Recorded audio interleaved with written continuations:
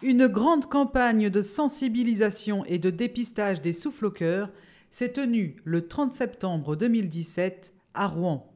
L'équipe de cardiologie du CHU accueillait le public sur son village pour les sensibiliser aux différentes formes de souffle cardiaque. Ici, on parle du souffle au cœur aujourd'hui euh, à Rouen. Et quand on a un souffle au cœur, en fait, c'est qu'une des valves est défaillante. Soit elle a du mal à s'ouvrir, soit elle a du mal à se refermer et fuit. Et donc ça gêne la circulation normale du sang dans l'organisme, dans le, dans le corps. Et on l'entend lors de l'auscultation, quand votre médecin vous ausculte, il entend un bruit, c'est un souffle qui traduit une valve malade. C'est pour ça qu'il va vous orienter vers un cardiologue. Au programme Flash Mob, stand d'information, conférences, ateliers ludiques pour les enfants et dépistage gratuit. Il y a quatre valves dans le cœur qui peuvent être touchées, soit parce qu'elles sont rétrécies, soit parce qu'elles sont fuyantes, donc pas étanches.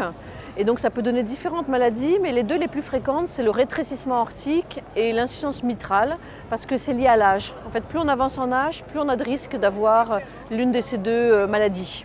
Quand on a une atteinte des valves, ça, peut se dépister très facilement par l'auscultation. C'est-à-dire que euh, le médecin avec un stéthoscope, il entend un son anormal et il peut tout de suite euh, trouver que ça lui évoque une atteinte d'une valve particulière. Alors ça peut aussi n'être rien du tout.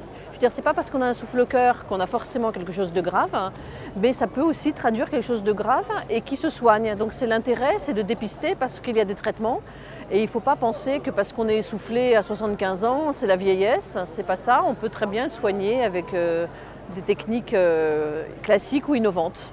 Cette première édition a été un succès.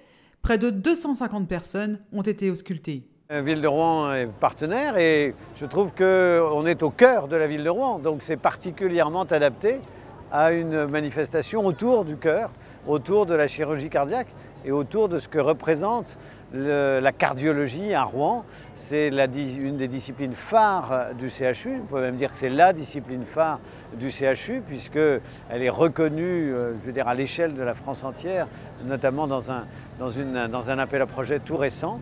Et c'est important que les habitants sachent qu'à Rouen, au CHU de Rouen, il y a des médecins, des équipes, des, soignants qui se préoccupent de toujours être plus euh, à la pointe des recherches et des progrès dans le, domaine dans le domaine de la cardiologie.